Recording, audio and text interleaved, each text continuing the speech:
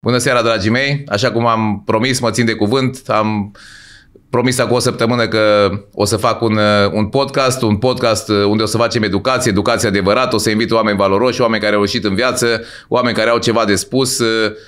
Sunt convins că nu o să vă plictisesc și că o să aveți tot timpul informații noi și proaspete, informații absolut gratuite, o fac din dragoste față de voi, din uh, dorința de a face puțină educație în România, atât financiară cât și, și de viață, profit de experiența mea, profit de experiența invitațiilor mei, profit de tot ce înseamnă bine și bun în jurul nostru și uh, o să invit doar oameni valoroși, așa cum uh, am invitat și astăzi. L-am alături pe Andrei Drăguș. Salut, Andrei!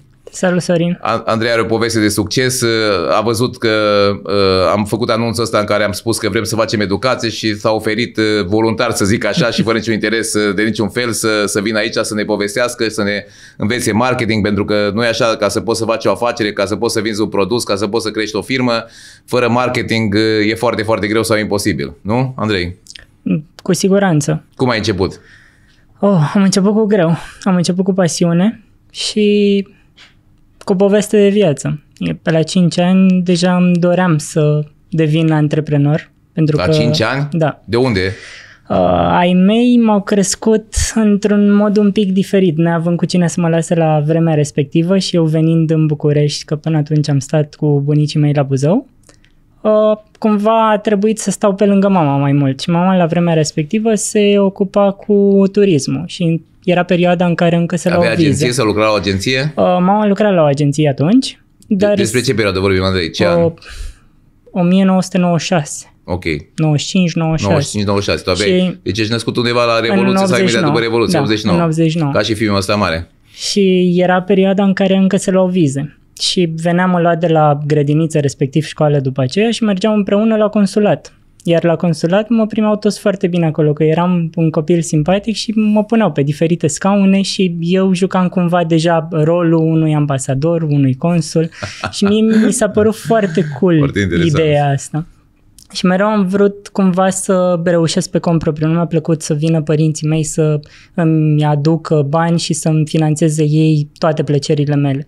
Și pentru că am vrut foarte mult să dovedesc, pe la 21 de ani, deja lucram în agenția mamei mele, era totul ok, dar am zis ok, aici mă plafonez, învățasem un pic de business, aveam cunoștințe despre ce înseamnă profit, Ai făcut liceu în București aici? Am făcut liceu în București, am fost la ce, Lazar. Ce profil? Uh, mate Info. Mate Info, la Lazar. Dar nu știu cât de relevant Ți-ai dorit tu să te duci acolo sau părinții ți-au sugerat nu, să... Nu, eu mi-am dorit să mă duc într-un liceu în care să am o echipă de basket foarte mișto, pentru că jucam basket la vremea respectivă și eram super și n-au fost pasionat. părinții de acord, nu? Uh, ba da, adică nu, părinții nu prea m-au influențat în luarea deciziilor, cumva mi-au dat mână liberă, au zis ok, faci ce vrei, știi care sunt responsabilitățile tale, de aici încolo te Dar descurci. de unde m-a Info? Din cauza că... M-a atras, m-a atras pe mine profilul mai Ah, mult. Adică, ok. Cel puțin în copilărie nu prea îmi plăcea să citesc. Eram așa, ok, ia și citește. Dacă era de făcut ceva tehnic, de făcut teme la mate, eram printre primii. Chimia mi-a plăcut, fizica mi-a plăcut. Eram foarte curios, dar eram curios să descoper lucruri tehnice și să văd cum pot să le fac mai bine. Și atunci mi s-a părut că Mate Info a fost o idee bună. Așa. Dar imediat după ce am terminat clasa 8 am zis ok, de aici încolo cumva cam știu care vreau să fie drumul meu în viață și vreau să fac marketing. M-a atras pe mine foarte tare pentru că mi se părea că poți pe de-o parte să poziționezi anumite lucruri pe piață, nu știu, poți să ai succes în business și clar ai nevoie ca să poți să vinzi ceva, ai nevoie să atragi publicul, că dacă nu ți-l cumpără nimeni, n-ai ce să vinzi. Oricât de bun ar fi produsul tău. Și ai terminat liceu, ți-ai dat bacalaureatul? Am terminat liceu, mi-am dat bacul, m-am dus la ASE în anul întâi, lucram, am intrat și la drept, dar din greșeală. Te-ai dus la ASE împins de părinți sau că ai vrut tu să te Nu. perfecționezi? Am, am vrut eu să mă perfecționez acolo. Te-a ajutat ASE-ul în, după aia în carieră? Abia de vreo 3 ani de zile m-a ajutat SEO. Adică? O perioadă de 10 ani în marketing nu m-a ajutat ASEO. În ASE se învață lucruri tehnice, microeconomie, macroeconomie, indicatori financiari, pe care nu ai cum să înțelegi la 20 de ani, chiar dacă ai suficiente cunoștințe despre business, tot sunt mult prea greu de perceput pentru că n-ai experiența de viață. Dacă Ca să- stai acum să te gândești, dacă ai fi ajuns aici unde ești dacă nu aveai ASE-ul? Dacă aveai doar liceu? Nu știu, greu de spus. tind să cred că ASEO nu te ajută neapărat să scalezi în profesie, dar e un prim pas de a-ți organiza informația în cap. Deci să facem facultate sau să nu facem? Cu siguranță să facem. Cu siguranță să facem, da, nu? Dacă nu facem facultate, nu o să știm să ne organizăm o informație mai grea. Pentru că nu întotdeauna e de cât plătești și cât câștigi, sau să fii angajat, sau să fii patron, sau antreprenor, sau investitor. Întotdeauna trebuie să te gândești ok, am un cumul de informații și toate se schimbă de la o zi la alta. Și aici nu vorbesc de două, trei cifre de, chest- de cheltuieli, venituri, profit. Vorbesc de toate cifrele care generează cheltuierile, toate cifrele care generează profitul și toate cheltuielile care generează venitul. Că na, venitul egal cheltuieli... Uh, uh, no. Profit minus cheltuieli. da. Da, am înțeles ce... Și atunci trebuie să te gândești foarte bine cum să le generezi și cum să le gestionezi în fiecare zi, pentru că sub fiecare cheltuială o să mai ai încă 5.000 de cheltuieli, dar fiecare dintre aceste 5.000 de cheltuieli sunt generate de alți factori, că tu ca să produci trebuie să mai angajezi oameni sau să cumperi mai multe produse. Mai duc când te extinzi. Exact, și de aici apar tot felul de cifre despre care vorbește toată lumea, dar totul pleacă de la o bază. Iar în facultate te învață, deși nu-ți spune concret care e baza, te învață o bază generală. Tu ți alegi de acolo. Da, și tu începi să-ți alegi de acolo. În plus de asta, în facultate, în mod normal, te învață să lucrezi într-un colectiv. E cumva și în liceu. Într-o echipă. Da, și în liceu ești în clasă și ai proiecte comune. Dar nu se compară cu ce faci în facultate. Se fac studii de caz, se fac diferite scenarii, astfel încât să se adune mai mulți oameni la un loc care sunt diferiți de multe ori și să, reușe, reu, să reușească să livreze ceva final, pentru că oricum, la urma urmei, lucrarea de licență presupune a livra ceva final. Te obligă să faci o practică pe care poate n-ai fi făcut-o dacă nu erai obligat și atunci de aici îți dă cumva un kickstart. Poți să ai, ai o bază de plecare. Și în plus de asta nu există angajator care să nu se uite pe aceste CV-ul. studii. Și dacă zic, domnule, eu nu vreau să mă angajez, deci nu mă interesează studiile, mă duc direct și fac business. Aș putea să fac business la nivel high dacă nu am facultate? N-am cunoștințele astea dobândite în ASE? Depinde de nivelul de inteligență. Okay. Să nu spun de IQ și depinde de experiența de viață pe care ai avut-o. Că dacă ai crescut într-o familie unde părinții sunt antreprenori și te-au educat în direcția asta și în loc să stai să te joci ai asistat în parc, la tot felul de... tu vezi care sunt problemele și cum le rezolvă și ți le și explică pe înțelesul tău, atunci poate ai avea șansă, dar cumva ai facultatea asta făcută de părinți acasă. Dacă nu ai norocul să treci prin experiența asta, trebuie să te duci să înveți. Pentru că dacă nu înveți, te lovești de realitatea asta dură. Zici, ok, cât am? 1000 de euro sau 5000 de euro sau oricâți bani ai avea deoparte, fac o afacere. Ai băgat banii și ai pierdut într-o lună, două sau trei. Sau și în cel mai rău caz poți să nu-i pierzi, dar n-ai câștigat nimic. Și dacă tu într-un an de zile ai băgat 5.000 de euro și ai câștigat 5.000 de euro, n-ai făcut decât să pierzi un an de zile, pe care nu-l mai recuperezi niciodată. Teoretic n-ar trebui să lucrăm pentru bani, ar trebui să lucrăm să ne simțim mai bine, să ne creăm un confort în viața noastră. Dar în momentul în care tu bagi bani și banii ăia nu se întorc, nu faci decât să scazi confortul vieții. Și ca să poți să înțelegi asta, din păcate, ai două variante. Ori ești înconjurat de oameni care te ghidează, ori o înveți pe cont propriu. Pe cont propriu e foarte greu. Eu, din păcate, am fost în varianta a doua, dar nu într-un mod dramatic, pentru că m-au susținut părinții până la un păi acolo a rămas, punct. când povesteai că ai făcut ASEU și ce ai făcut după ASEU imediat? Uh, după ASE am intrat și la drept din greșeală și l-am făcut în paralel. Cum din greșeală? Aici o poveste destul păi de... uh, mulți colegi de mei din Lazar s-au dus către drept și erau niște fete cu care mă înțelegeam bine. Și să nu pierzi și fetele. într-o seară am fost, într-o seară am fost în club, intrasem la ASE deja și era admiterea la drept a doua zi. Ba nu, era ultima zi în care se putea depune dosarul pentru admitere. Okay. Și nu știu, cum ne-am distrat noi acolo, am zis, hai că, mă, hai că vin și eu, că n-am cât de greu poate să fie. La drept e admitere la economie și la gramatică. Amândouă într-o singură grilă trebuie să iei 100 de puncte. 40 de puncte economia, 60 de puncte gramatică. Gramatică. Eram azi la economie, la gramatică ce mi-aduceam eu aminte din școala generală. Și aici e povestea interesantă că am ajuns în sala de examen, am făcut toate grilele la economie în vreo 20 de minute și mai aveam două ore jumate să termin gramatică. Și am citit prima întrebare, a doua, a treia, a patra, a cincea și în fine era într-o întrebare câte greșeli sunt în următoarea frază. Și zic eu, una, două, trei, patru. Eram aproape sigur că sunt patru. Și grila începea de la 9 greșeli minim.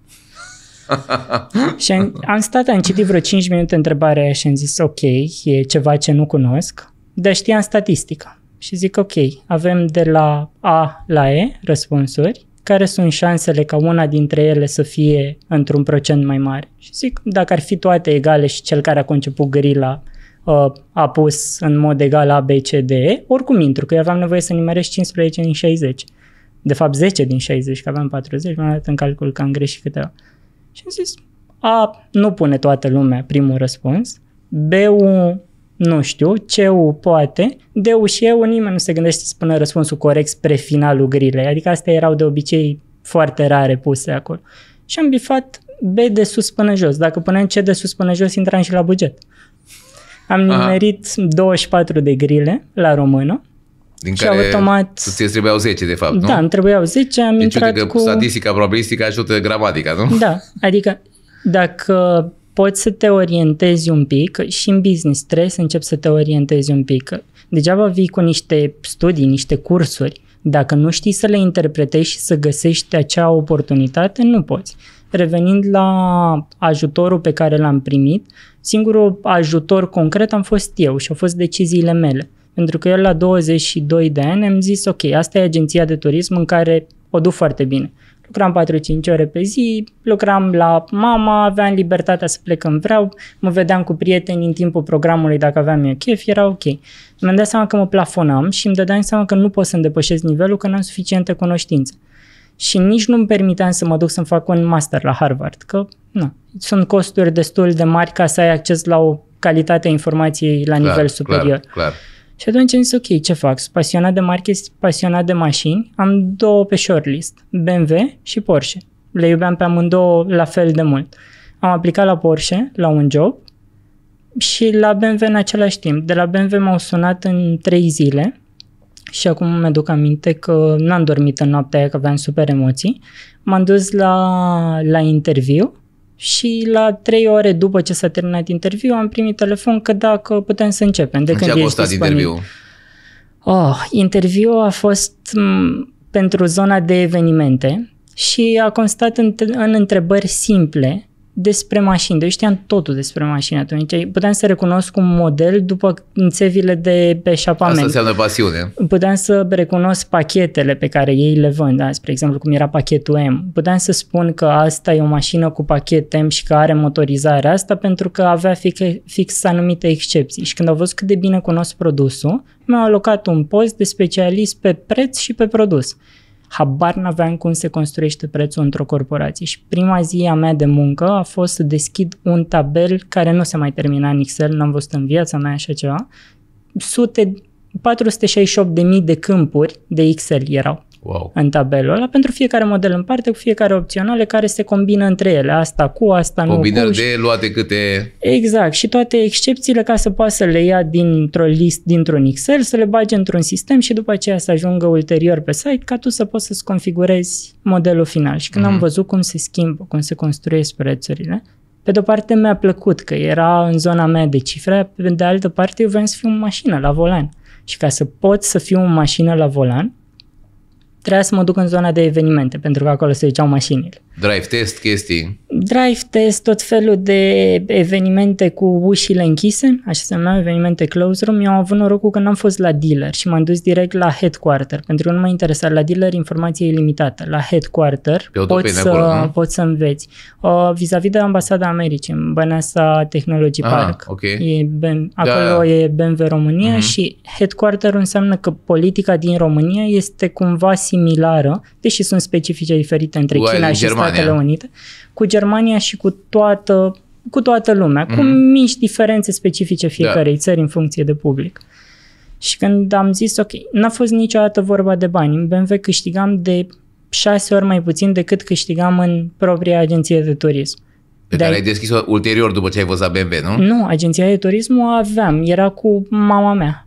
Am făcut în 2007, mama a plecat dintr-una dintre Era cele mai mari. cu mama, da? Da, eram Deci mai după mult, ce ai terminat era mai facultatea, ai mult plecat la angajat. BMB sau ți-ai făcut aso- uh, După ce am, după, înainte să termin facultatea, la 18 ani, am Așa. început să lucrez A, nu mi-ai efectiv spus asta, în, de-aia nu- n- da, am am rămas început puțin să confuz. lucrez în, uh, în firma mamei mele. Și avea o agenție de turism. Avea agenție de turism făcută în 2003. Ea în 2003 a decis să plece pe cont propriu pentru că vrea să ofere servicii net superioare Mhm. pieței din România la vremea respectivă.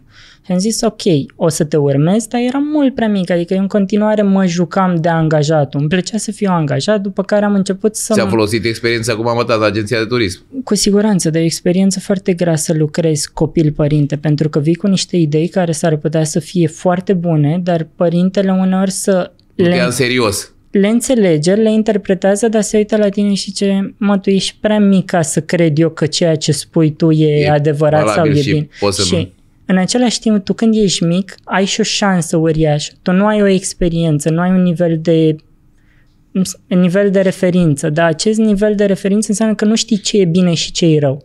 Și atunci te duci cu capul înainte. Dacă te duci într-o direcție corectă înainte, ai drive-ul, ai motivația de a merge mai departe. Dacă te duci cu capul înainte că ți-a zis cineva, du-te așa că vezi că eu am câștigat sau că a fost bine, trebuie să știi cumva să filtrezi toată Mhm. povestea asta, altfel e destul de dificil. Și atunci eu am mers cu drive-ul ăsta și la un moment dat au apărut incompatibilități între viziunea mea și viziunea mamei mele. Și am zis, ok, aici e granița, De aici ne de aici despărțim. încolo, eu mă duc, Pe să, calea mea. mă duc să învăț. Că ăsta a fost motivul pentru care eu am ales o corporație. Și de asta nu m-am gândit la bani. Nu te-ai băgat cu capul înainte să-ți faci tu firmă direct de când ai plecat de la mama ta, pentru că Nu. erai conștient că încă nu știi suficient de mult încât să faci pasul ăsta mare și să-ți riști banii, nici, nu? Da, nici cea mai mică șansă nu aveam. Când decizi să faci o firmă, automat îți asumi un risc destul de mare. Mm, Studiile arată că undeva la 90% dintre oameni își doresc să fie antreprenori, dar pentru că nivelul de risc e atât de mare de a-ți face o firmă, când le pui între îmi plătește cineva lunar versus Ok. uh, să-mi fac eu o firmă, re- renunță. Și dacă 90% vor să-și facă firmă, dar doar 2-3% ajung să-și facă dintre cei 90 care vor să dețină o firmă, cumva clar cei care dețin o firmă sunt într-un mod mai curajoși. Că trebuie să ai un super curaj să-ți asumi responsabilitatea de a-ți face firmă. Tu n-ai avut curaj la început sau erai conștient că nu Eram- ai suficientă experiență încât să te apuci tu singur de a face ceva?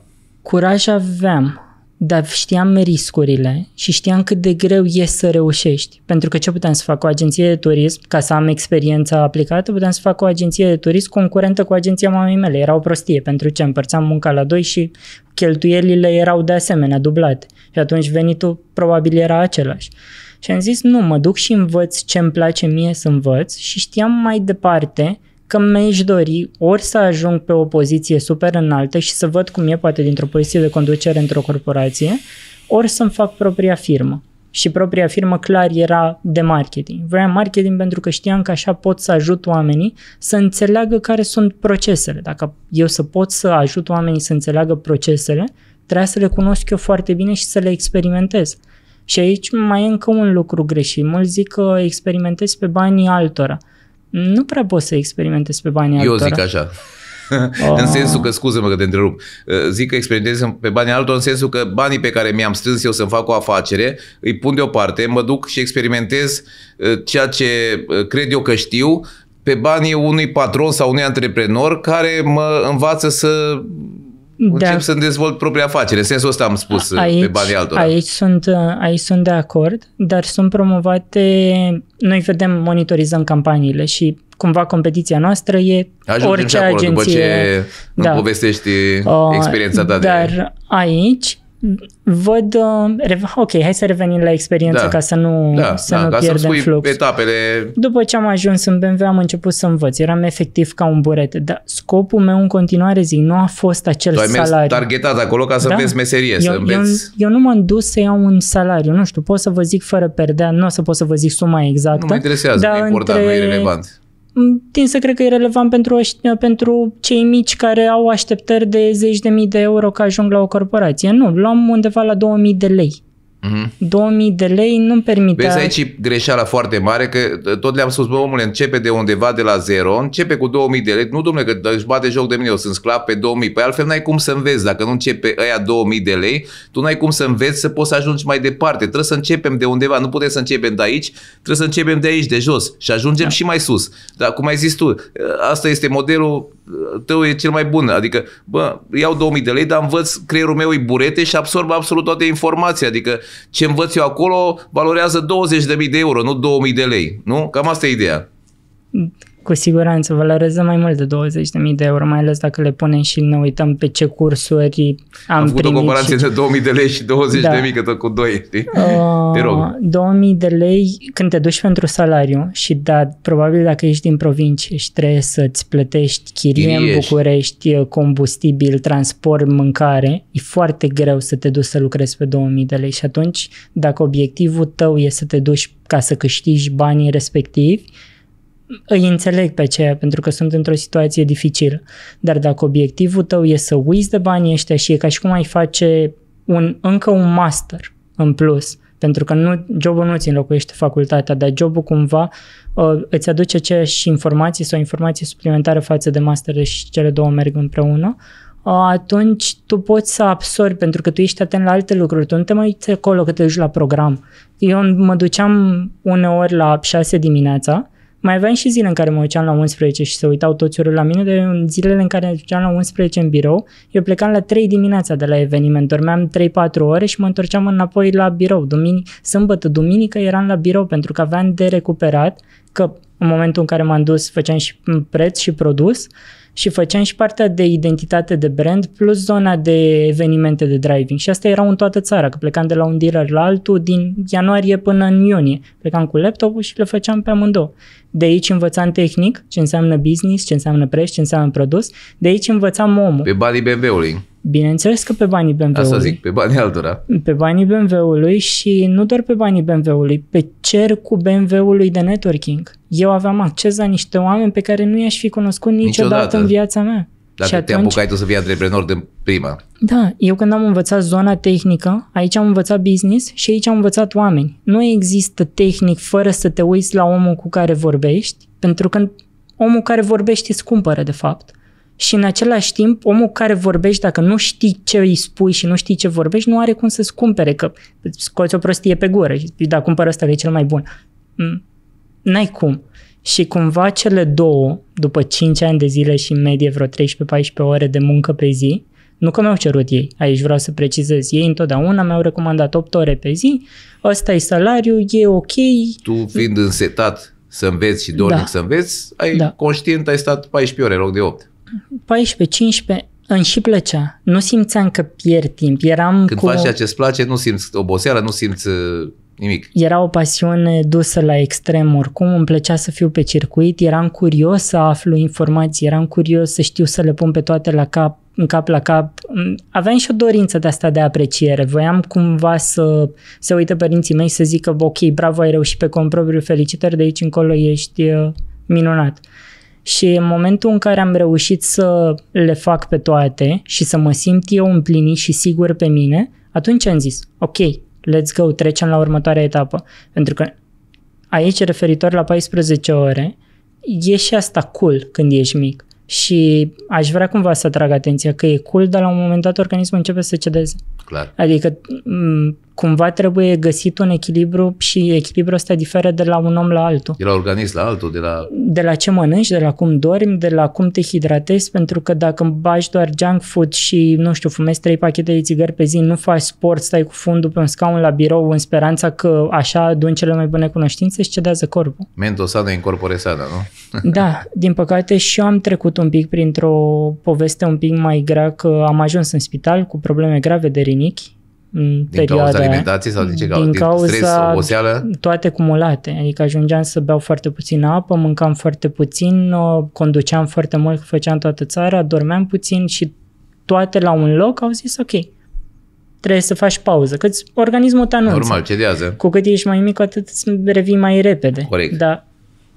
Și după aceea am zis, ok, de aici încolo am avut experiența, hai să vedem ce înseamnă să fiu pe cont propriu. Unde m-am dus prima dată să contractez și să colaborez? La BMW. Na, ei aveau nevoie Normal. de ceea ce prestam eu și lăsam un gol acolo. Au fost de acord? Nu prea. Pentru că nu e atât de ușor. Adică, deși din exterior pare, mamă, ok, uite, agenții, că vii, că tu produci, că tu faci, e, când intri într-o zonă de competiție, una e să fii angajat, alta e să fii furnizor. Și când ajungi să devii ca furnizor, treci complet prin alt proces. Și de aici încolo începi să te chinui. În momentul în care, până la urmă, ai reușit pe scurt să continui cu BMW, într-o formă mult mai scăzută Mai în light, comparație așa. cu... Dar într-o zonă de consultanță, într-o zonă de training, într-o zonă de prezentări de produs. Care nu te solicita fizic așa de mult. Da, și într-o zonă în care era nevoie de mine, pentru că abia atunci mi-am dat seama că, ok, unde am fost indispensabil, m-au contractat. Unde n-am fost indispensabil, m-au înlocuit în secunda 2. Adică nu mai exista variantă că suntem prieteni, că stai un pic, că facem. Asta e nu. corporația, Asta Andrei. e corporația, asta e punctul, așa funcționează totul complet legal. Și după aceea, de aici încolo, zic, ok, du-te și mai găsești alt client. Că te, poți să te mulțumești cu cât te plătește BMW într-o perioadă X, cât ai proiecte. De ce faci după aceea când s-au terminat proiectele? Că tu când îți faci o firmă ai cheltuieli lunare, să nu zic zilnice, dar lunare, ai contabilitate cel puțin și de acolo mai ai un angajat și dacă nu Mai ai o chirie, mai, mai ai ai- o chirie, dar zic de cheltuieli minime, adică Da. da. minim ce trebuie, îți trebuie să-ți faci o firmă, să ai un contabil, nu neapărat o companie de contabilitate, pentru că dacă nu ai astea două, Normal. ai șanse foarte mari să plătești mai mult decât faci și îți mai trebuie teoretic pe cineva care să te ajute pe legal, adică să faci contractele, că dacă acele contracte nu sunt bune, la fel poți să pierzi mai mult. Când ți-ai dat seama că e, gata, sunt uh, suficient de pregătit încât să o iau pe cont propriu, să-mi fac uh, propria firmă și să îmi câștig banii mei proprii? Care a fost momentul ăla, declicul ăla? Am cochetat cu asta mulți ani, adică mm, 22 de ani, 25 de ani, mereu m-am gândit cum ar fi, cum ar fi. Dar vedeam ce se întâmplă și cum evoluez acolo și eram însetat să cresc mai mult, să cresc mai mult. Când am văzut că organismul începe să se miște, am zis, ok, ar fi cazul să trec la următoarea etapă. Nu mai aveam un safe side.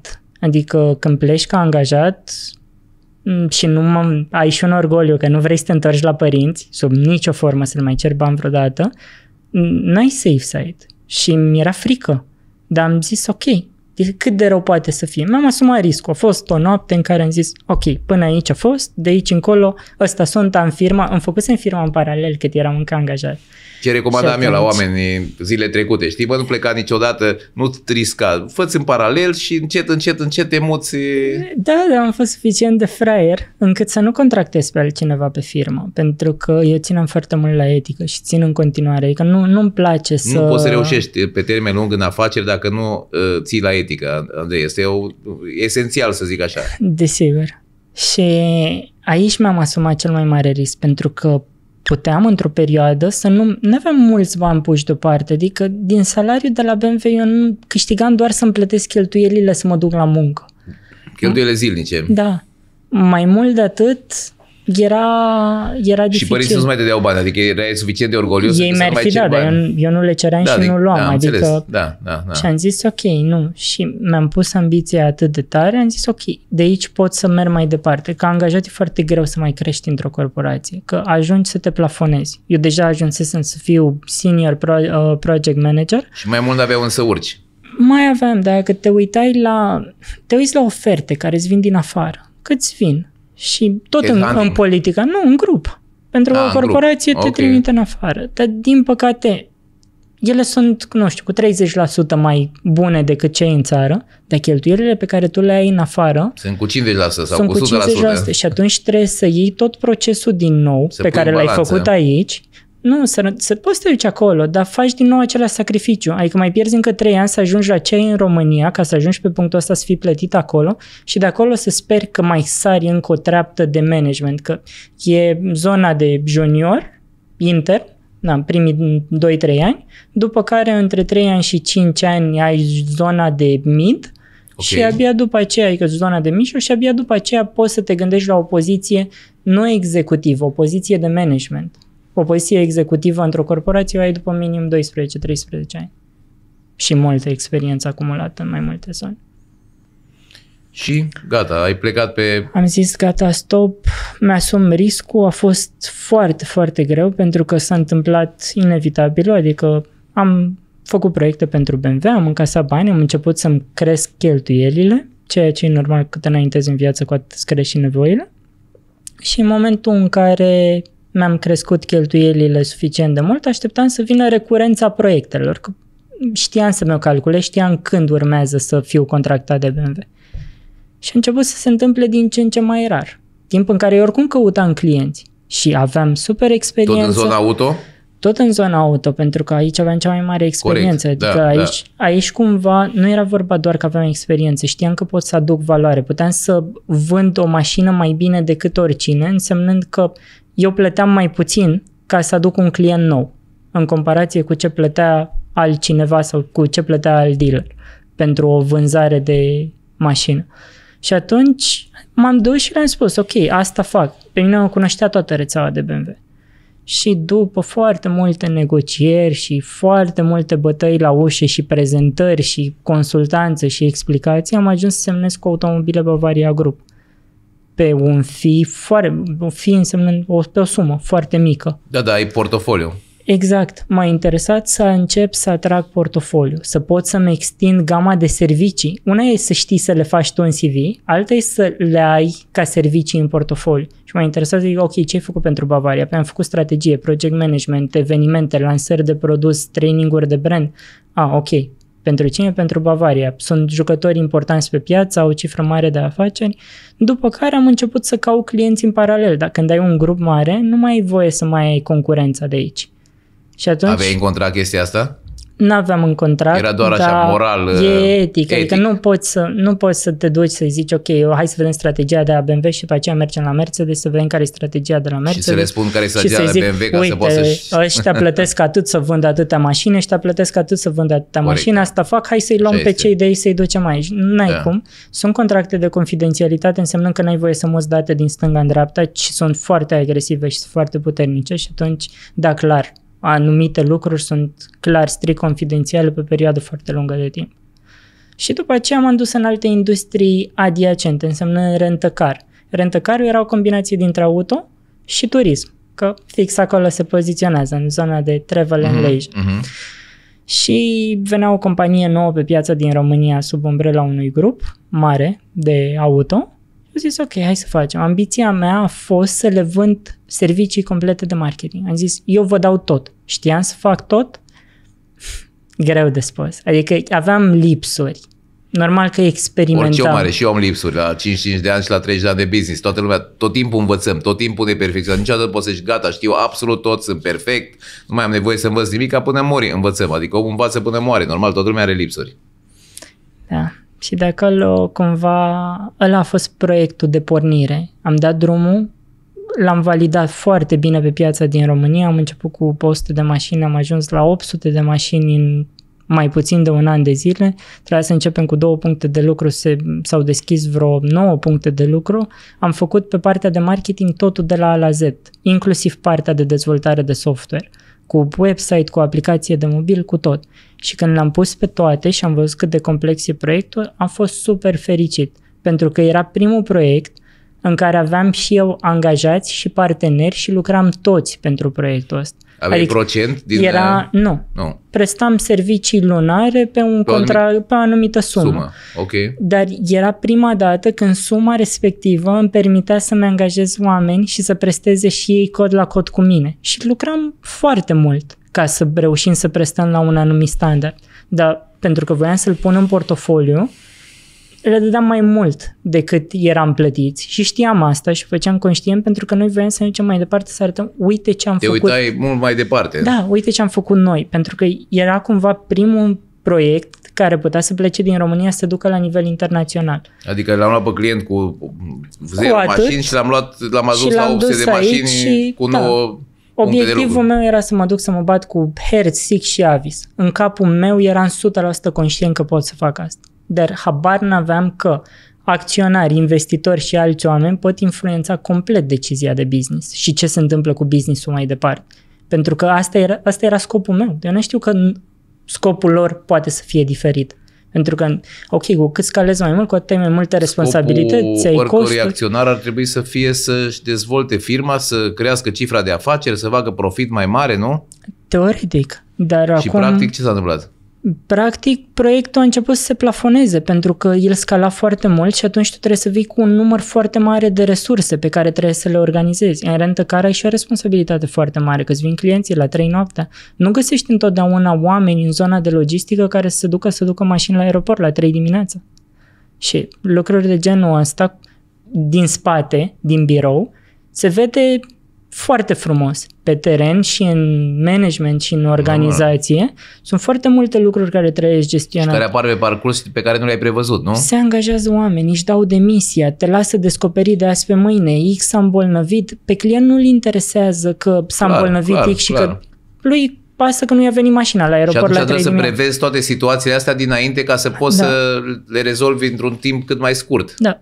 Și eu când n-am înțeles chesti- n-am înțeles-o atunci. Când am zis, ok, proiectul se plafonează și lucrurile încep să se micșoreze și ei nu vor să dea atât de mult cât îmi doresc eu să dea și la nivel de experiența consumatorului și la nivel de brand și vor să-și gestioneze mai bine cheltuielile, am zis, da, ok, this is it. Și acolo s-a terminat proiectul. Și aici, în fine, noi ne-am lovit cumva și de primele probleme de legal. Acolo am văzut ce înseamnă să nu știi să-ți faci un contract.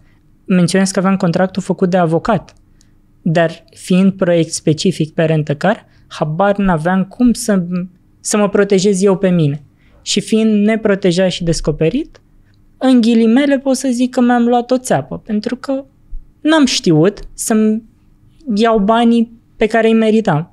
Am mers mai departe și aici am avut... Crezi că au profitat de lipsa ta de experiență? În... Nu cred că asta a fost intenția. Adică nu, nu cred că a urmărit cineva să profite. Ah, n-au speculat chestia asta. Nu, sunt foarte multe lucruri la mijloc. Adică când ești mic le interpretezi. Crezi că cineva vrea să te fure, crezi că... De asta te-am întrebat, exact. Da, tu ai impresia că în momentul în care pierzi, lumea se întoarce împotriva ta. Asta, cel puțin, asta era feeling-ul meu, pentru că n- nu ești obișnuit, nu știi la ce să te aștepți, mai ales când îți pui sufletul pe tavă să mergi să faci totul ca la carte. Dar cu cât începi să te lovești de lucruri, ai două situații. Ori ești frustrat și zici nu mai fac niciodată și îmi bat picioarele, ori o iei ca pe o lecție de viață și optimizezi și îți umpli toate golurile alea din spatele tău, astfel încât de aici încolo să mergi, să nu mai faci aceeași greșeală. Că dacă ești frustrat, cu siguranță să repezi greșeala asta Clar. la infinit. Sau o să scazi calitatea serviciilor și tot așa. Și cumva de aici până la a avea ceva care să fie sustenabil, însemnând că ceva care să-mi genereze un profit sigur lunar. Sigur în ghilim, nimeni nu e sigur în business, Bineînțeles. dar un profit sigur, am reușit cumva să analizez foarte bine toate cifrele care mi-aduc venit, să analizez cum se uită clientul la mine și să știu dacă există riscul de acel, ca acel client să, să părăsească compania. Oricum ți-a folosit că ai învățat să te vinzi cât mai scump după aia, nu? Mm, Te vinzi cât mai scump, dar depinde, depinde foarte în mult sensul de... balansării serviciului cu, știi, cu ce primești. Uh, aici eu am avut un noroc foarte mare, pentru că știam cum se construiește prețul. M-a ajutat agenția de turism, m-a ajutat BMW. Și atunci când am venit și am zis, ăsta e prețul, pentru că astea sunt costurile mele, asta e, asta e profitul, marja de profit pe care o Bun, și urmăresc. atunci de ce te-ai simțit dezamăgit? Că ziceai că ai, ai fost dezamăgit din cauza contractului care l-ai avut. Pentru că am pierdut niște bani, adică De nu, ce ai pierdut? nu i-am mai recuperat, nu au mai fost plătite niște facturi. Adică ți-ai luat țeapă cu alte cuvinte, nu? Românești, așa vorbim. Românește ar suna Și ca... contractul tău nu era suficient de beton încât să poți să-i dai în judecată să-ți recuperezi banii, la asta te referi. Adică avocatul era destul de novice, să zic așa, sau Nu, aici, din păcate, pentru mine a fost o experiență foarte grea. S-a ajuns, din păcate, în instanță. s-a ajuns în instanță. Am câștigat în instanță. Ok. Mi-am recuperat o parte mult prea mică de bani pentru că nu am știut să... Nu am, zona legală, oricât de bine ai scrie în contracte, tu vrei să ți se rezolve repede. Asta înseamnă pe ordonanță de plată în cazul meu. Nu voiam să mă duc pe drept comun. Și asta înseamnă că judecătorul, când ajunge să se uite pe speță, el nu trebuie să aibă loc de interpretare. Trebuie să vadă, s-a prestat? Da. Nu s-a prestat? ok, nu. Că dacă el vede că s-a prestat și nu te-a plătit, atunci e ok. Și tu nu aveai suficiente de... dovezi, te-ai dus pe buna credință a partenerilor și nu da. aveai suficiente de dovezi că ai prestat chestia respectivă, da? Aveam doar pe o singură bucățică suficiente Aha. dovezi, unde în online totul lasă o amprentă. Deci, până la urmă, au speculat Nu știu asta? dacă ăsta a fost interesul, pentru că în același timp uh, ei au văzut în online, clar, se vede, dar strategie, un investitor nu are de unde să știe dacă eu am prestat-o sau nu. Cei cu care am lucrat direct știu, dar doar că cei care, cu care am lucrat direct au început să plece din compania respectivă. Deci n-a fost rea intenție, asta vreau să nu cred. subliniez, știi? Nu cred, dar cumva aici nici nu mai contează dacă a fost rea intenție sau nu. Contează că eu am rămas cu niște bani pe care eu a trebuit să-i plătesc pentru echipa Ai mea. învățat din chestia aia ceva, adică... Da, mi-am făcut un credit de nevoi personale de 10.000 de euro să-mi plătesc programatorii care au rămas descoperiți în speranța în care eu o să mai recuperez ceva din instanță și mai intră din când în când că e poprire pe conturi și ce se mai adaugă în contul respectiv mai intră la noi, 300 de lei, 500 de lei. Da? Mm-hmm. Ți-a folosit experiența asta? Enorm. Mi-am făcut contractele la linie după aceea. Nu mi-a luat un avocat, mi-a luat doi avocați și se verifică între ei astfel încât să vadă că fiecare specificație poate fi dovedită, se fac rapoarte, am rapoarte de profitabilitate pentru fiecare acțiune, să văd efectiv unde pierd bani și unde câștig bani. Și atunci, da, lucrurile astea m-au ajutat să evoluez. Și da, de aici încolo poți să începi să-ți crești prețurile pentru că poți să oferi niște servicii. Cu cât ai mai multă experiență, cu atât valoarea pe care tu o aduci altui client e mai mare, cel puțin asta în cazul nostru, unde noi suntem efectiv poziționați între o companie și clientul final. Eu trebuie să înțeleg ce face compania și ce își dorește clientul final și în același timp să cumva să-i pun într-o armonie pe ei. Și în momentul în care reușesc să fac asta foarte, foarte bine, atunci clientul normal că să mă plătească, pentru că eu aduc mai mulți bani și cu cât îi generez mai mulți bani, cu atât el o să se recompenseze față de mine, nu prin a-mi plăti mai mult pe serviciile pe care le prestez, ci prin a aloca alte servicii, adică a contracta alte servicii de la mine. Că dacă a mers bine, nu știu, dau un exemplu, o campanie de Facebook a mers super bine și e super încântat și îi recomand și Google Ads, el are încredere în mine să facă și Google Ads pentru că știe că o să-i aduc și de acolo ceva. Ce înseamnă Google Ads? Google Ads e platforma de promovare a lui Google. Asta înseamnă că tu dacă vrei să... Știu ce înseamnă, dar să spunem la oameni. Da, da, da. Dacă tu vrei să-ți promovezi ceea ce vinzi în general pe Google, cumva Google îți pune la dispoziție niște instrumente și tu îți alegi de acolo cuvintele cheie. Asta e un exemplu banal, un exemplu simplu. Să zicem, nu știu... Sorin Podcast. Sorin Pot. E un exemplu mai greu. Hai să luăm un exemplu cu, cu un produs. Minge de fotbal. Okay. Vinzi minge de fotbal. Da? Dacă tu vinzi minge de fotbal, oamenii caută minge de fotbal, un anumit model poate. Minge de fotbal Adidas gri cu roșu. Să fie ceva clar. Adică cine o caută vrea să o și cumpere. Okay. E, în momentul în care tu vrei să apari primul pe Google, pe minge Ca de Emago, fotbal. Ai văzut când cauți un produs, Emago e pe top 3 tot timpul. Da. Dacă vrei atunci mingea aia de fotbal, tu trebuie să plătești la Google. Cum plătești? E o platformă de licitație în spate. Hai să o comparăm cu stock market. Ok, ăsta e costul pe care eu îl licitez. Eu licitez că plătesc 3 lei să fiu pe prima poziție. Uh, Mircea vine cu 4 lei, Răzvan vine cu 10 lei. Și poate să ajungă costul pe un singur click la 20 de lei. Dacă tu plătești 20 de lei pentru un click, n-ai garanția că omul ăla îți cumpără mingea, atunci tu ești în pierdere. Dar în același timp trebuie să găsești o zonă și o strategie să plătești 50 de bani sau 10 bani pe un click și în același timp din sutele alea de clicuri pe care le iei, un procent să-ți cumpere mingea ta. Ce se întâmplă când uh, îți facturează Google după o lună și ce ai avut un milion de clicuri și tu nu ai bani decât de 10.000? Îți blochează contul. Îți blochează contul. Da. Până îți pui toată suma înapoi. Ce se întâmplă când eu caut uh, Evomag și mi-apare EMAG? De ce EMAG-ul când caut alt cuvânt a unui concurent îmi apare primul? E bidding pe competiție, adică licitare pe competiție directă. În anumite... e, e moral sau e legal? Mm, nu-i moral. De obicei se fac agreement-uri în piață să nu se facă bine. Doar Google are de câștigat din povestea asta. Google eu știu, e super eu happy. Știu, eu... Dar uh, cumva Google îți oferă șansa să-ți înregistrezi brandul la ei. Adică tu poți să te duci să-l blochezi la Google și să-i spui ok, ăsta e brand înregistrat, trebuie să fie marca înregistrată în primul rând, domeniul înregistrat, ok, e al nostru, nu ai voie. Dacă vrei să faci bidding acum pe BMW și tu ești Mercedes, nu mai poți să faci asta. La un moment dat se putea. Deci asta e soluția. Dar nu sunt costuri foarte mari, adică nu trebuie să fie un brand foarte puternic ca să poți să îți registrezi marca la Google. Tu poți să faci o strategie foarte mișto. Ei, poți să licitezi 100 de lei cost pe click și nu mai vine nimeni după aceea să plătească 103 lei pe cuvântul, pe denumirea ta de brand. Pentru că aici se presupune că se licitează pe branduri care au renume în piață. Și dacă au renume, nu știu, mă caută, caută cineva BMW, nu o să dea click pe Mercedes, că el vrea BMW și atunci dacă Mercedes vine și licitează acolo, Mercedes nu face decât să ia clicuri greșite. Că ale Adică oamenilor... aruncă banii degeaba, cum Da. ar veni. Da, Hai să o luăm de la zero. Uh, Îmi fac o firmă, mi-am deschis și eu o cârciumioară bună, mi-am, făcut un buc- mi-am angajat un bucătar, nu mă știe nimeni în cartier, mai sunt 20 de restaurante. Cum mă promovez cu bani puțini ca să am cât mai mulți clienți într-un timp cât mai scurt?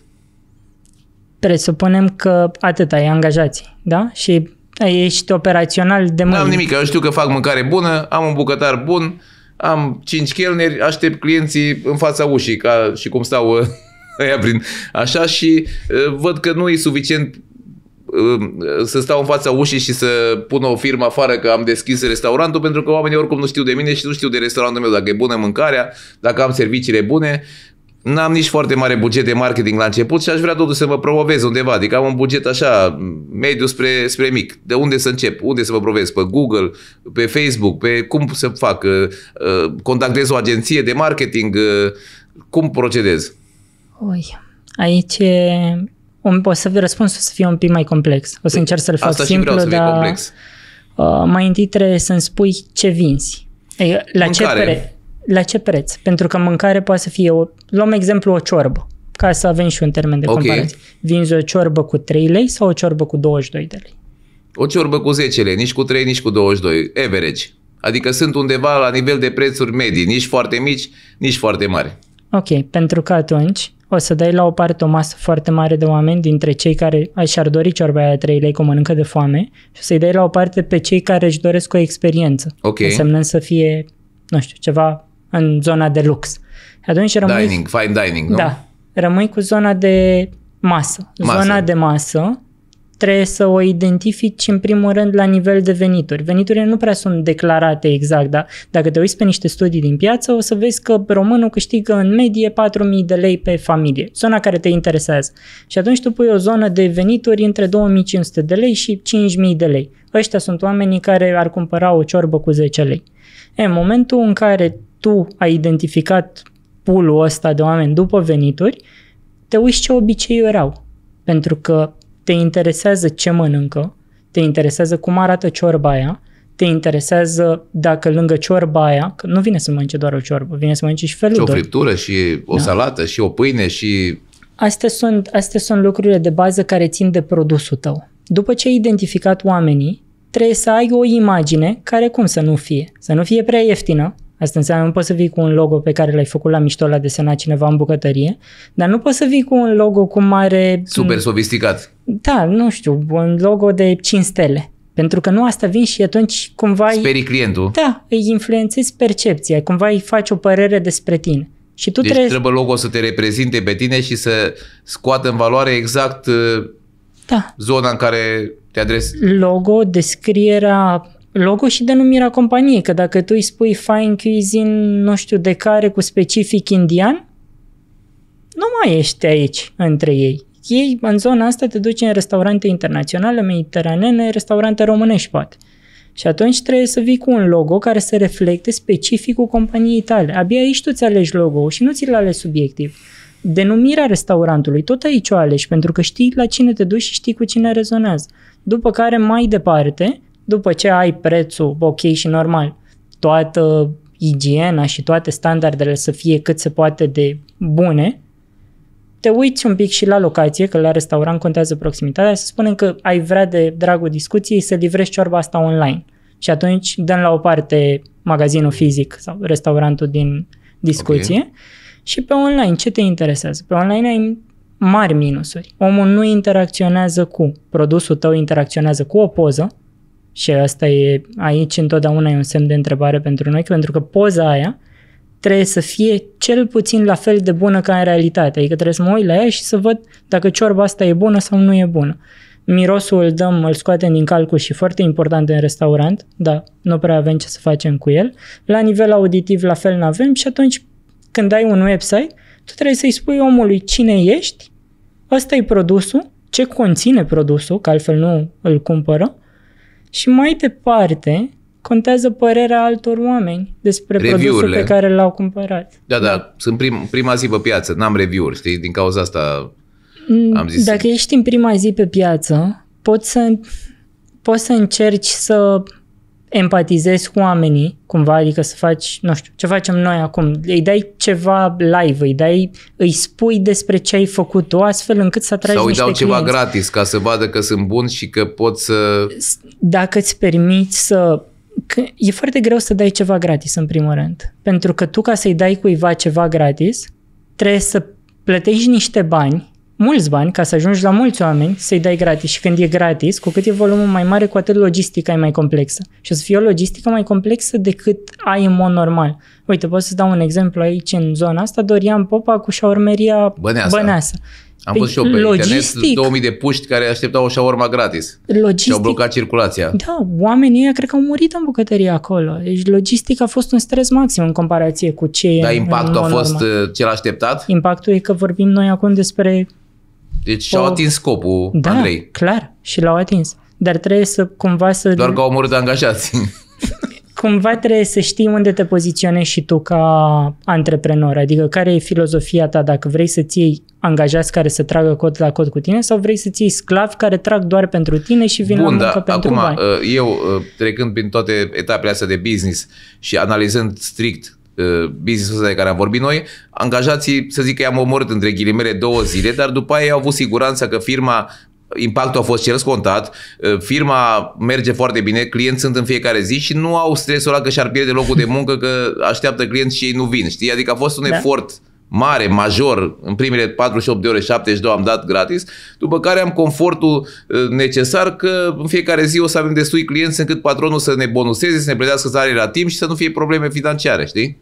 E o strategie bună. Doar că e o strategie, ca să încep cu o strategie, e o strategie care e cunoscută și cultivată și experimentată.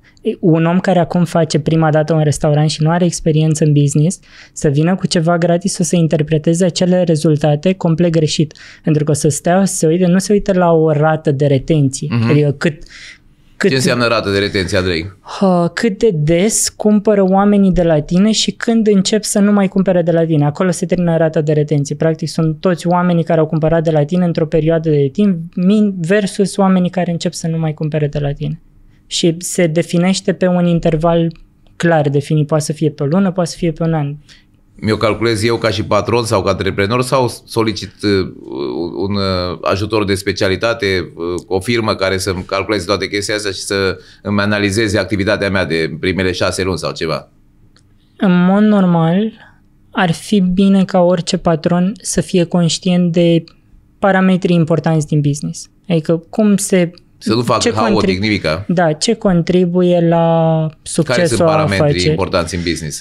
În primul rând e venitul, costurile și profitul. Astea sunt cele mai importante. După, după aceea ai costurile asociate, da? costurile de producție, costurile cu personal. Și toți uită de un cost foarte important, de costul de achiziție pe client. Pentru că ei nu știu cât trebuie să plătească să atragă un client. Dacă l-ai uitat pe ăsta și zici, eu fac la fiecare ciorbă un profit de 4 lei, da? Că vând cu 10 lei și fac un profit de, de 6 lei și pe mine mă costă 7 lei să vând ciorba aia, ce am făcut? Păi ies în pierdere un leu. Păi nu e ok. Păi de ce mă costă atât? Hai să scădem costul. Păi nu poți să scazi costul, trebuie să crești prețul.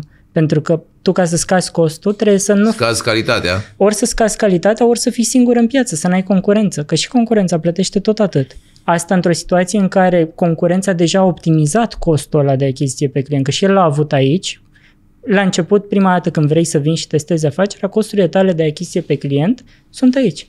După care încep să vină aici și în funcție de cât de bun ești, poți să le duci aici. Dar de aici, aici, e un salt uriaș, adică trebuie să schimbi conceptul de business, trebuie oamenii să iubească ceea ce faci tu, să vină de plăcere, fără ca tu să mai plătești un cost nou pentru a veni să-ți mai cumperi o ciorb. Dar astea sunt, astea sunt cifrele principale. De aici încep derivate. Câți oameni ți-au intrat pe site, uh, uh, care e rata de conversie al acțiunilor. Spre exemplu, câți au dat click din Google și au ajuns pe site, câți din site au dat uh, click direct pe ciorbă, câți dintre oamenii care au dat click pe ciorbă au adăugat ciorba în coș și câți dintre cei care au adăugat-o în coș au cumpărat-o și a venit efectiv la tine și câți dintre oameni care au cumpărat ciorba au trimis ciorba înapoi. Ca așa se întâmplă, ăsta e tot procesul. Și atunci... Ce tot... se întâmplă dacă trimit ciorba înapoi?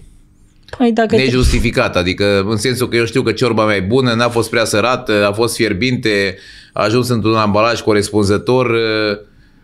Aici nu prea ai de ales. Nu prea ai de ales, adică Nu. o iei înapoi și gata. Ai două variante. Nu o iei înapoi, nu îi dai banii, risc să-ți trimită ANPC-ul, Sau să-ți dea un review cu o stea în loc de Asta 5 cu pe care nu mai siguranță. poți să-l ștergi. asta cu siguranță se întâmplă, și în același timp omul ăla nu va mai cumpăra niciodată de la tine. Așa dacă tu, e, efectiv, știi că n-are nimic, dar își cer scuze. Ok, a fost greșeala mea, îmi pare rău, nu știm cum a ajuns la tine așa, dar uite, îți trimitem alta acum. O că- friptură și o ciorbă în plus. o ciorbă și hai să nu punem o friptură, că nu- nu e ok să punem o valoare atât de mare, că nu e bine nici să învățăm. Așa că o să facă reclamații după asta. Am văzut în agenția de turism. Eu am întrebat by purpose, așa intenționat, știi? Da, nu. Uh, le dăm o ciorbă și o brioșă sau ceva ce ne costă pe noi destul de puțin ca să o producem, totuși cât să nu ieșim pe minus. Nu poți să vii cu bani de acasă mereu ca să-ți mulțumești clienții, că toți vor asta. Normal. Dar e foarte important ca să știi că în fiecare pas e o acțiune care poate fi îmbunătățită. Nu zic că trebuie, dar poate fi. Și dacă poate fi, ar fi păcat să nu o faci, pentru că tu acolo pierzi bani de fiecare bucată. Și asta e doar un exemplu în care clientul vine din Google și ei sunt niște parametri care se cal- se calculează. Sunt vreo 20 de indicatori pe care put- îi optimizăm mm, constant la Google, astfel încât să știm dacă e performantă campania sau nu e performantă. Și din aceștia 20 se formează bucata aia de cost de achiziție pe client, Mhm. care e, nu știu, să vând o ciorbă, mă costă 3 lei. Și atunci știu. Dar trebuie să știu dacă ea 3 lei sunt ok sau nu sunt ok. Poate mă costă 50 de bani. Am sau înțeles. poate mă costă 10. Îmi deschid un magazin de haine, nu vând online, vând aici, în zona asta, pe Magheru, într-un vat bun comercial, vreau să mă promovez și eu, ca să am un produs bun, îl import de afară, nu-l produc eu direct, vreau să-l promovez. Uh, Te contactez pe tine, tu ești specialistul care poți să-mi uh, propună o campanie de, de marketing, da? Uh, Cam cum vezi tu, adică unde, unde m-aș putea duce, în ce zonă, ca să nu cheltuiesc foarte mulți bani, dar impactul să fie puternic asupra clienților. Pe aici e secretul, de fapt. Că vor fi mulți cu magazine de haine. Știu. Și vor fi... De-aia am și dat exemplu e de magazin de posibil haine. să fie unii lângă alții. Dacă Așa tu, este. Dacă tu nu ești cunoscut, ok, să zicem brandul Sorin, Ok, da? Magazinul se numește Sorin Fashion Store. ok. La fel, începem cu aceeași poveste. Cât costă, care sunt oamenii, cât e prețul, unde poziționezi prețul, care e calitatea produsului. În general, calitatea... Nu sunt uh, up, nici down. Middle. Ești average. la fel pe același... Am stabilitate Ca în și vecinii mei targetul. din stânga și din Sunt dreapta. aceiași oameni care vin și mănâncă ciorba de 10 lei. Da, problema este că eu vând cam același produs calitativ ca și vecinul meu din dreapta și din stânga, dar eu sunt mai smart că nu fac singur promovare, uh, contactez pe specialistul Andrei care are firmă de marketing și cu asta e punctul meu forte că mă promovez mai bine decât cei doi concurența mei care vând aceeași marfă. Uh, Asta e un exemplu greu. Dar putem să, cred că putem să-l simplificăm. În primul rând ar trebui să vedem cum ne diferențiem noi față de stânga și dreapta. Exact. Și aici sunt patru tehnici de diferențiere mari și late, din care sunt multe derivate. Dar ai odată diferențiere prin preț. Poți fi mai ieftin decât stânga sau dreapta? De obicei e cea mai practicată în piață. Adică vii cu o campanie... Avem cam aceleași chirii, cam cu același preț am achiziționat marfa, e foarte greu să uh, fac un discount foarte mare că nu mai îmi scot uh, Ok, prețul dăm la o parte, produsul dăm la o parte, de obicei asta se întâmplă pentru că aici nu mai e loc de factori de diferențiere, mai ales dacă e aceeași calitate, sau poate chiar e același produs, vindeți aceleași tricouri de la aceleași branduri. Și după aceea mai avem promisiune. ce-ai promis tu clientului, de ce să intre la tine? Tocmai. Și poți să-i dai o experiență. Da? Vine și probează, nu știu, are cabină de probă dedicată, nu e coadă, nu e înghesuită, miroase frumos în magazin. Cât de important e miros într-un magazin? Foarte important. Foarte adică important. putem să ne... Cât de important e lumina? Foarte, Foarte important. importantă. Ce mai important? Muzica, Muzica? ambianța, oamenii îți zâmbesc când intri, îți deschid ușa, se Trainingul deschide oamenilor, ușor. adică e foarte da. important. Practic, fiecare interacțiune, pe baza celor cinci simțuri, în special văzul, pentru că e primul lucru pe care îl faci când intri într-un magazin, vezi. Da? Vezi, miroși, poți să și guști. Dacă ești suficient de smart, îi pui o bombonică acolo. Să-și ia câte costă o bombonică? 50 de bani, Nimic, da. 30 de bani?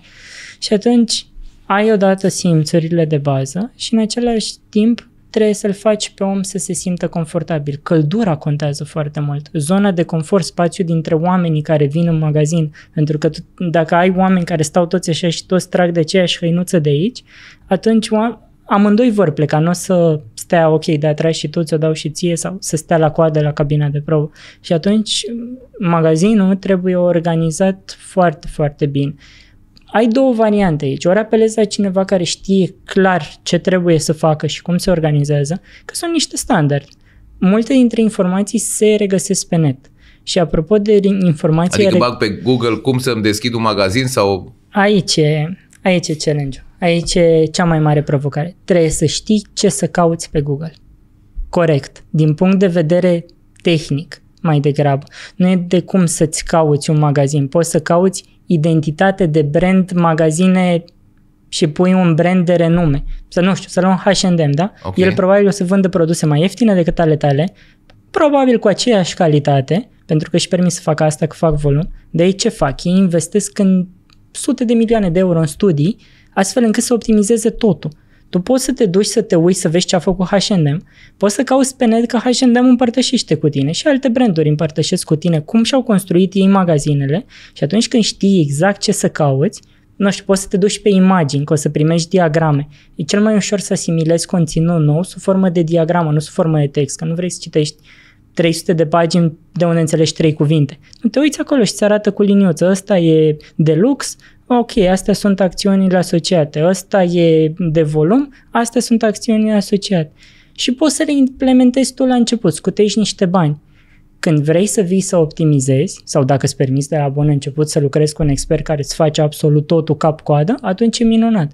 Dar altfel, dacă te chinui acolo și vrei să-ți validezi, e perfect. Și apropo că am ajuns la punctul ăsta, validarea e cea mai importantă. E bine să, nu știu, când îți deschizi un magazin, deschideți un magazin de 3 metri pătrați, 5 metri pătrați, îți pui 3 produse. Le schimbi între ele la 3, 4, 5 zile și atunci vezi dacă se vinde produsul tău, găsești o metodă prin a atrage atenția, ai o casetă luminoasă mai drăguță și cu un mesaj care rezonează cu mai mulți oameni. Și atunci vezi dacă produsele alea se vând într-o zonă care nu e atât de populară, cu siguranță se vor vinde după aceea. Dacă nu ți se vând acolo, sunt șanse destul de mici, adică îți crește riscul să te duci într-un magazin în care bagi mulți bani, îți aduci toți experții. Sunt mulți care cred, mamă, băgăm milioane de euro, e super ok. Păi stai un pic, că nu vindem cât ne așteptam. Și aici puteți să vedeți magazinele din mall care vin, stau 3-4 luni și pleacă. Aia s-au dus direct sus. Și, din păcate, n-au reușit. Mai ales dacă sunt branduri. Unde au greșit cel mai mult?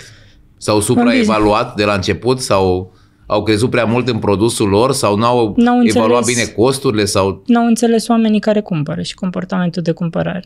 Pentru că oamenii întotdeauna... trebuiau să plătească un studiu unei companii specializate ca să, înainte de a-și deschide magazinul mall, având în vedere că e deschizi o în chirie mall, da. foarte mare. Da, când deschizi în mall trebuie Adică, să ai niște fiind studii. riscul foarte mare, ar trebui să cunoști foarte, foarte bine cui te adresezi, nu? Da, trebuie să știi care e traficul din mall, adică câți oameni trec prin mall în primul rând, câți oameni intră și trebuie să știi câți oameni trec prin zona în care tu ți-ai deschis magazinul.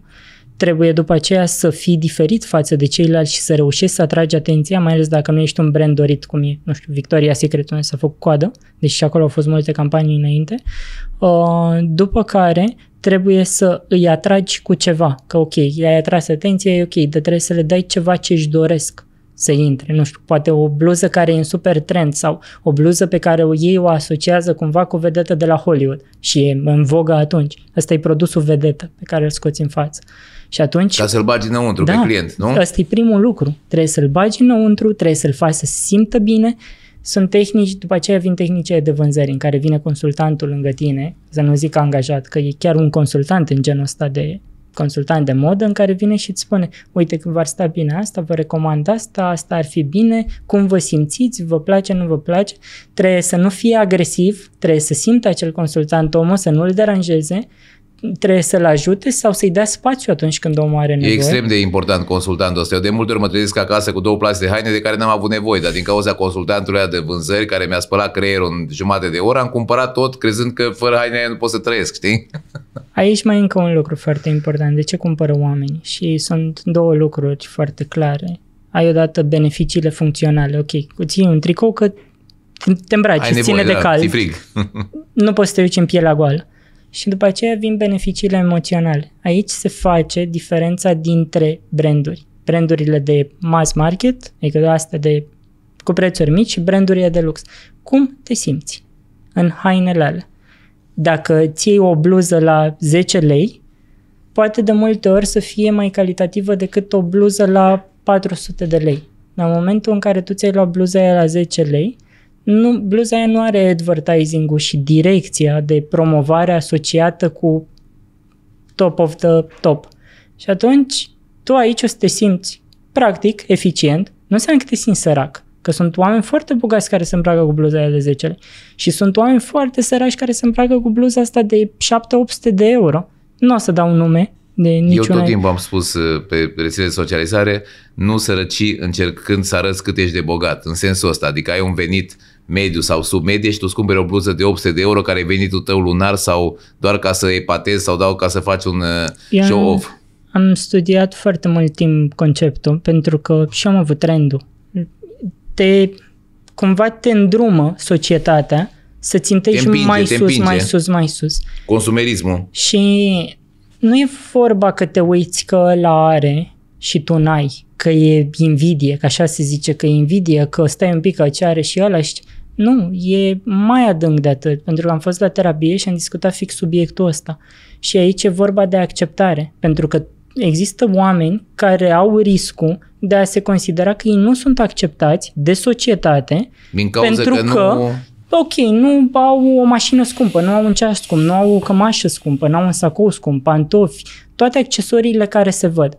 Asta e o categorie. După care sunt acei oameni care au aspirații foarte ridicate. Vreau și eu să ajung cu mie vedeta X, vedeta Y, vedeta Z, că vrea să iasă în evidență, să fie cool. Sunt două comportamente complet diferite de cumpărare. Adică dacă stai să vorbești cu omul ăsta și cu omul ăsta, cumpără același produs, dar pentru motive complet diferite.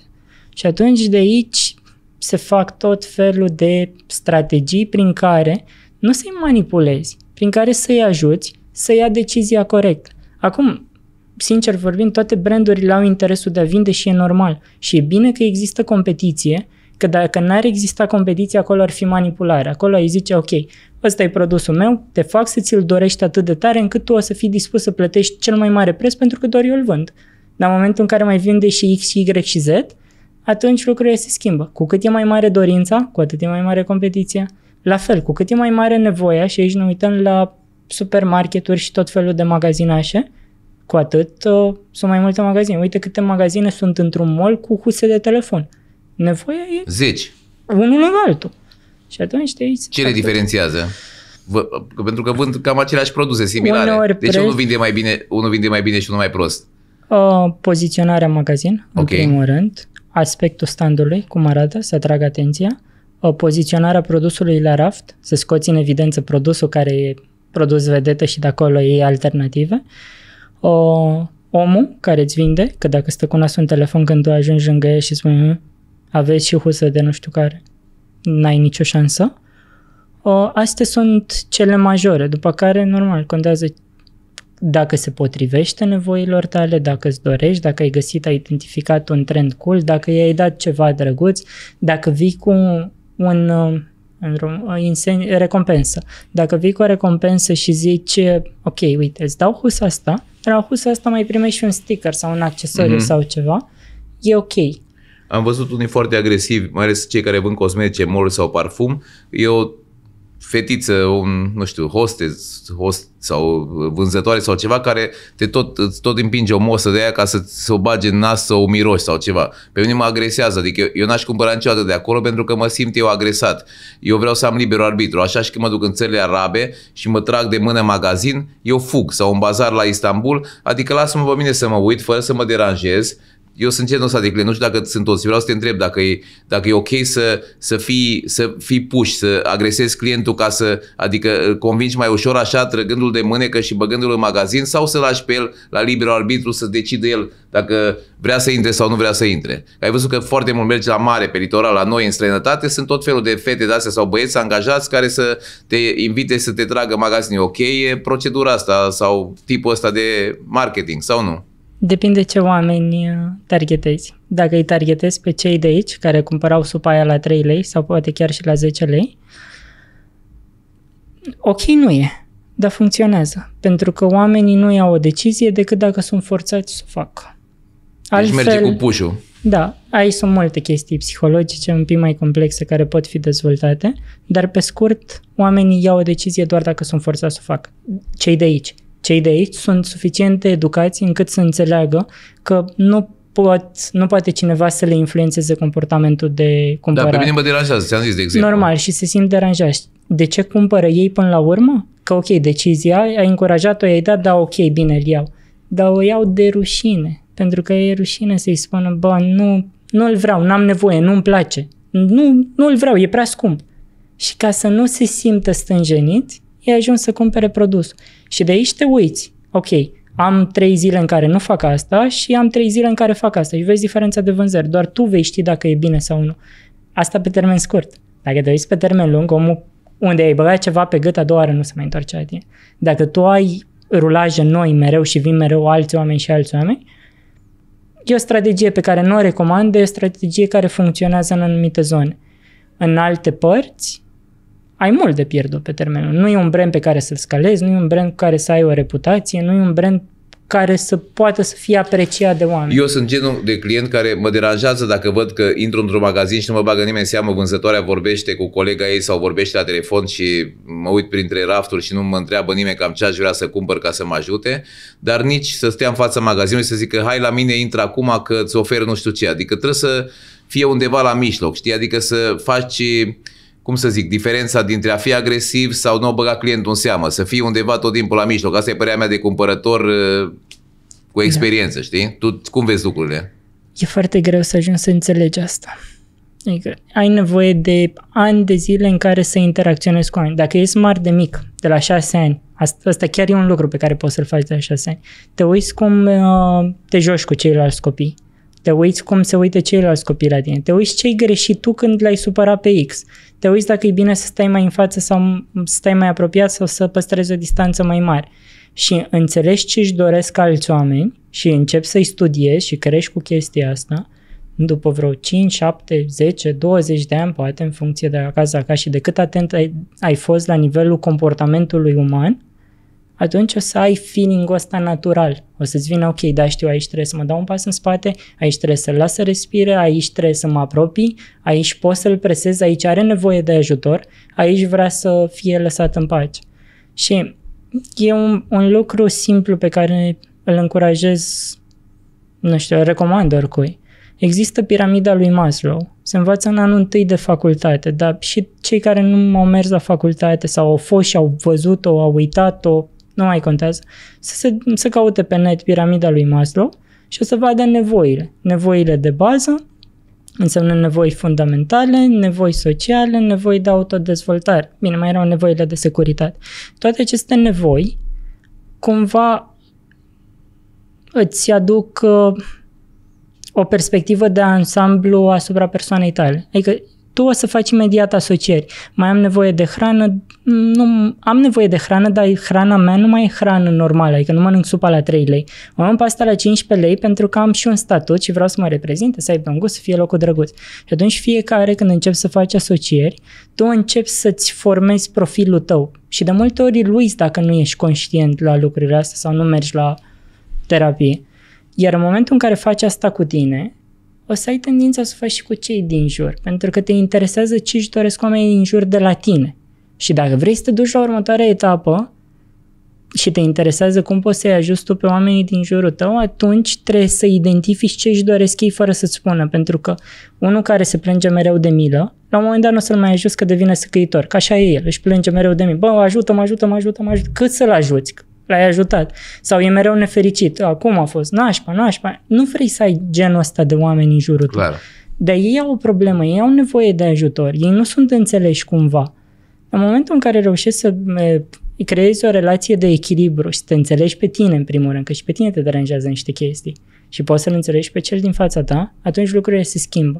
Și acei oameni, ar fi minunat să fie așa toți și să-i pui acolo unde e locul, aia sunt oameni perfecti.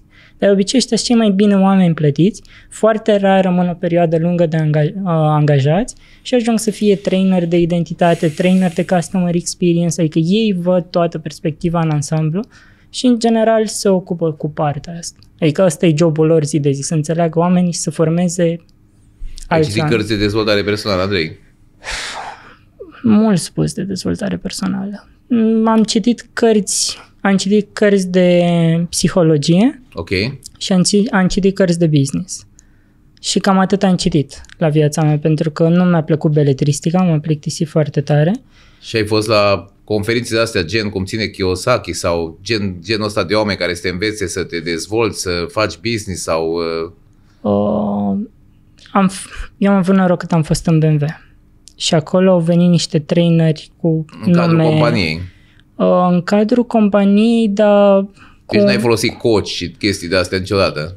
ei au fost coach și sunt de profesie. Bun, dar dar- nu te-ai dus tu să plătești undeva la un hotel că vine un coach sau pe internet sau ceva să... N-ai făcut chestia asta niciodată, nu? Nici eu. Nu. Și, sincer, aș face-o doar în situația în care subiectul care e prezentat mă interesează liniuță cu liniuță. Sau aș face-o dacă i-am citit cartea, m-a atras atât de tare și vreau să fiu acolo pentru că vreau eu să-i pun o întrebare. Poate am șanse la Q&A. Ai avea încredere în un om care ar, ar te duce la o conferință asta, la un, nu știu, de dezvoltare personală și ai ști că omul ăla nu a făcut niciodată un milion de dolari sau de euro la viața lui, dar el te învață pe tine să faci milionul ăla. Adică încearcă să te învețe cum să faci un milion, deși el n-a făcut milion. Ai avea încredere în omul ăla. Păi aici pot să dau un exemplu. Dacă eu vreau să te învăț pe tine, să faci același lucru pe care eu îl fac pentru clienții mei, nu zic în marketing, zic pentru clienții mei. Ok?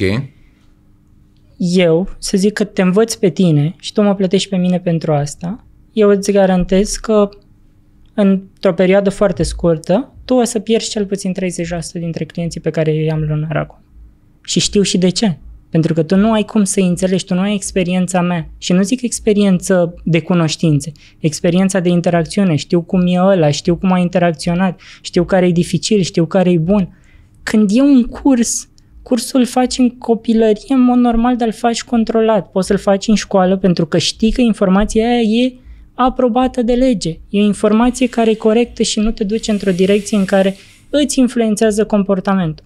Acum depinde și cu cine rezonezi. Nu știu, uite, spre exemplu, eu aș face un curs cu tine. Asta în condițiile în care țin să precizez că azi e prima dată când ne vedem, ne-am auzit prima dată la telefon acum o săptămână, nu? Da. Mai puțin de o săptămână. Da. Și eu te-am contactat pentru că mi-a plăcut ideea de a educa M-au oameni. contactat foarte mulți, Andrei. M-au contactat vreo 20 de oameni ca să invit la podcast, dar eu uh, sunt foarte... uh, Am un simț, așa cum am descoperit și pe Damian Amfile și pe toți, adică simt oameni de top. Și atunci am făcut o selecție și am zis, bă, primul va fi Andrei, pentru că mi-a plăcut de la început, am studiat un pic, m-am uitat și pe LinkedIn, m-am uitat peste tot, am zis, bă, ăsta e omul de care am nevoie la primul podcast, pentru că asta vrem să facem educație, vrem să învățăm oameni să facă business și uh, contează foarte mult caracterul omului în primul rând. Deci e foarte, foarte important. Eu fug tot timpul de profesioniști care n-au caracter și atunci pentru mine, primul rând, e caracterul și după aia experiența și ceea ce transmis tu mai departe, știi? Da, aici îți mulțumesc foarte mult pentru aprecieri și sunt recunoscător. Iar să-ți răspund la nivel de cursuri, eu, unul personal, nu m-aș duce. Nu m-aș duce Nici pentru eu. că nu, aș ști că nu am ce să mai iau. Poți să fii un om de afaceri de succes și închei aici pentru că nu ne mai, la- nu mai permite timpul. Poți să fii un om de afaceri de succes dacă nu, ai, nu te-ai născut cu skill-ul ăsta și doar uh, înveți uh, sau te duci la nu știu câte cursuri sau facultăți sau astea? la nivel de top. Poți să faci niște bani, cum am zis, să deschizi o cârciumă în cartier și faci un venit care să-ți asigure un trai decent. Dar poți să ajungi țiriac dacă n-ai simț afacerii? Doar din... Răspunsul pe scurt e nu. Nu. Dar există acea mică, mică probabilitate de a câștiga la loto în același timp. Nu, Dar așa nu, e, e altceva. Așa e, zic aici, fac un termen de comparație Da. loto cu business-ul, ca să Da. ai succesul ăsta Da. pe care l-a avut Țiriac. Uh, să ai noroc în business. Asta înseamnă să faci ceva foarte bine fără să știi. Ok. Adică să ai niște aturi și niște skill-uri și tu le pui acolo. Tu Am ai făcut înțeles. prețul, ai Da, făcut da. strategii Și s-a ți-a întâmplat ieșit. ceva și- Că ok. sunt oameni care au avut noroc și au dus afacerea aici din Am noroc. înțeles. Vă mulțumesc mult de tot pentru că ați fost alături de noi eh, și ne-ați ascultat. Eh, Sunt eh, deosebit de încântat de informația care am primit de Andrei. Sigur o să-l mai invit eh, pe parcurs pentru că știu că n-a spus nici măcar 5% decât putea să ne, ne spună. L-am simțit eh, și vă mulțumesc foarte mult că ați avut încredere și că ne urmăriți. Doamne ajută, mulțumesc mult de tot, Andrei, pentru Și eu. informațiile foarte Mulțumesc prețioase pe pentru care le-ai dat. invitație. Stați cu alături de noi, o să invit oameni de top și nu o să pierdeți timpul degeaba cu mine. Doamne ajută, sănătate!